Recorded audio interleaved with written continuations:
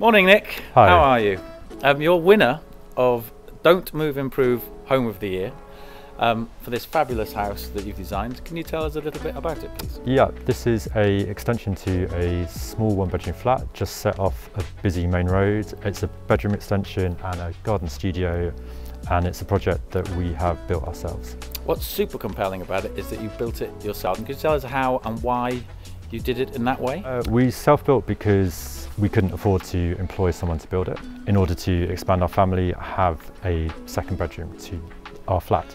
So we didn't want to move, we couldn't afford to move to a kind of larger home in the local area. So for us, self-building was the only option to do that. So when we first bought the flat here, um, it was completely cut off from the garden. There was a very small door and a window.